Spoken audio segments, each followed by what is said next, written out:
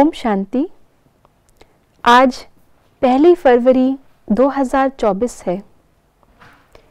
हम सभी ब्राह्मणों का लक्ष्य है ब्राह्मण से संपूर्ण फरिश्ता और फिर देवता बनना।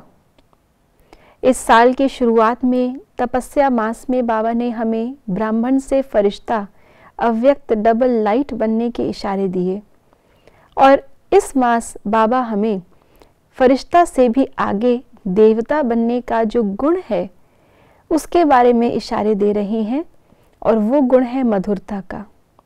तो इस पूरे मास जानेंगे कि मधुरता के गुण को धारण करके मधुसूदन का नाम कैसे बाला करें और हर रोज एक स्वमान भी लेंगे। तो आज का स्वमान है, मैं सफलता मूर्त आत्मा हूँ। सफल होने में मधुरता का गुण क्या रोल प्ले करता है? आइए जानते हैं आज के बाबा के अव्यक्त इशारों से। मधुरता ऐसी चीज़ है जिसकी धारणा से सदा हर्षित रह सकते हो और दूसरों को भी कर सकते हो। मधुरता को धारण करने वाला यहाँ भी महान बनता है और वहाँ भी मर्तबा पाता है। मधुरता से ही मधुसूदन का नाम बाला कर सकते हो। मधुरता रूपी मधु जिनके पास है, उन्हें हर कार्य में सफलता प्राप्त होती है। उनके मस्तक पर सफलता का सितारा चमकता रहता है। आज बाबा ने हमें मधुर रहने के कई फ़ायदे बताए। मुख्य रूप से बाबा ने बताया कि जो मधुर होता है, वो सदा हर्षित रहता है जो देवताओं के चित्रों में भी देखा जाता है।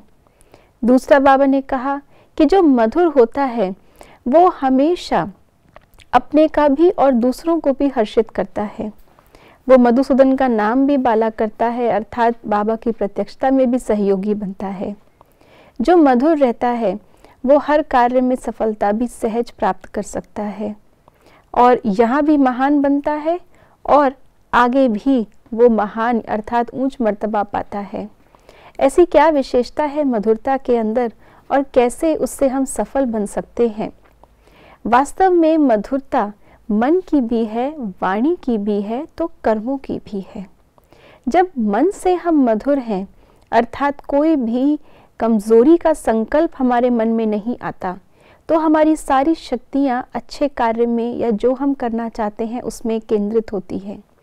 वाणी से अगर हम मधुर हैं तो वाणी की मधुरता सबके साथ हमारे स्वभाव को निर्मल करती जाती है अच्छा करती जाती हैं, और कोई भी आत्मा, भले उसके कैसे भी संस्कार हो, लेकिन वो विघ्न रूप नहीं बनती, क्योंकि ताली हमेशा दो हाथों से बजती है, और एक मधुर है तो एक हाथ ताली बजाने के लिए है ही नहीं।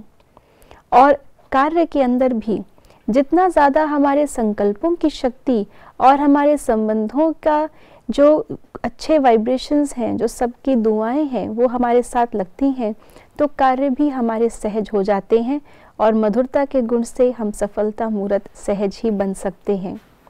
ओम शांति।